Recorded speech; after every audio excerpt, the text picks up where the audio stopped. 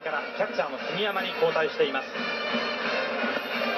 トップに回ってきますよね、はい。9番からですから。8回裏は9番からですね。はい。この1イニングということですね、えやはり今日はそれだけあですね今日は。緊張感ありますよね、え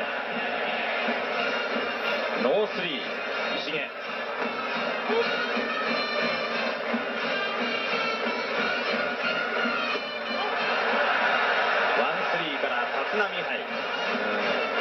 痛めてるっていうことで本人としてはねうんあまりね、あの自分自身、反省材料ではあるんだけれども、あまり触れてほしくないみたいなところのようですね。えーちょっとしは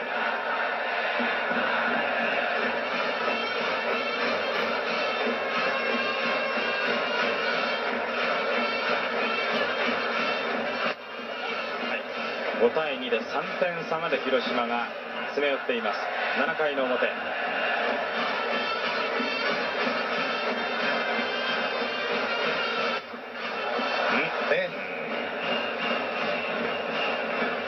ただこれだけ速いボールを投げますんでねえーもっとこう思い切って投げればっていう感じを受けますよね、ええ。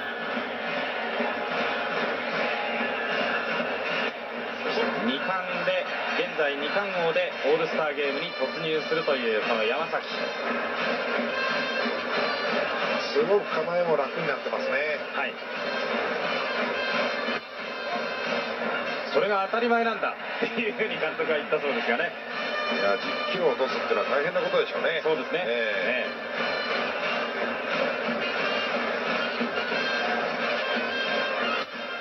伝えしております。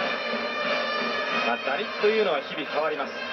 ホームランと打点というのはそれほど大きな変動はありません。昨日の時点ではセ・リーグの三冠王でした山崎。これが今シーズンのその成長などじゃないかと思うんですけどね、え昨年まででしたらやはりもう全部振りに行ってなんか力が入った飛ぶんですけど、うんその確実性がなかったっていうねえええ感じを受けましたけど今シーズンすごく楽にでもその力を抜いても打球は飛ぶんだということが分かるまでに随分かかるもんなんでしょ？ねもちろんそうですね、ええ。ですから当たってからのフォローっていうのがすごい大事になりますし、えでフォローを取るまでのリラック力みのないバッティングをしなきゃいかんのですね。こういうか同じ構えですよね、はい。普通阪神がしっかりしてる、えそしてやはりそういったバッティングに対してのその、まあ、今シーズンの自信といいますかね、立浪スタート切った。しかしボールですと二塁一塁で大砲。山崎山崎と言われていますがどっこい俺もいるんだぞと。ホームラン24本の大砲。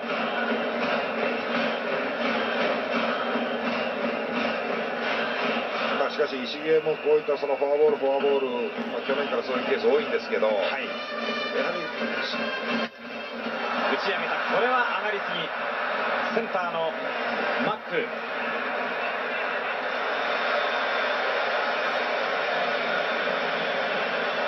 のは今日2本のタイムリーヒット。4回と6回にそれぞれ打ちました。中日の2打点を叩き出している彦野。今井さん、はい。彦野はね、読みがズバリズバリと上がってるようですね。あそうですか。はい、はい。最初のタイムリーヒットも、2え。え本目のタイムリーヒットも、全部思い通りの変化球、フォークだったというふうに言ってますね。あで、いい場面で仕事ができて、はい、それもいい場面で回ってきてのはい。タイムリー打ってますからね。あそうですか。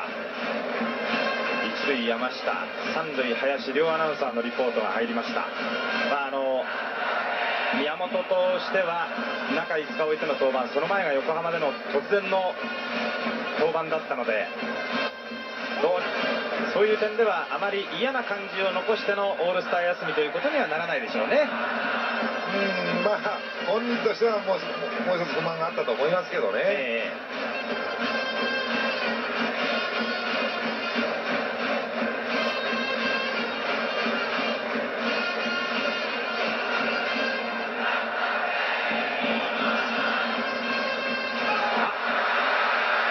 それぞれランナーが進塁。立浪は三塁を蹴った。ああこれはベンチに入ったんでしょうかねこのボールが。これはワンベースしか与えられません。この回から杉山それから石毛それぞれピッチャーとキャッチャーが変わりました。ツーアウト二塁三塁で彦野。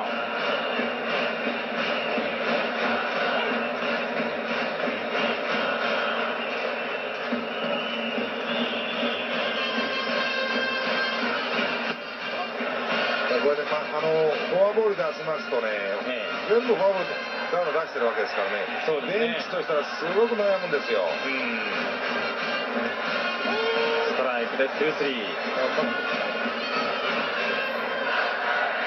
ツーアウトツースリー二塁三塁にランナーを置いています。彦野は今日2打点。いずれも読みがぴったりと当たったというリポートがありました。この打席はどうでしょうか。ツースリーラストボールです。まっすぐ。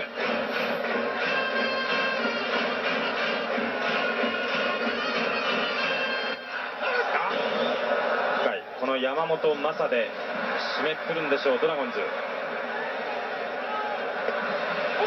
4番にパウエルに代わってセンター大西が入りました。そしてライトには増田が入っています。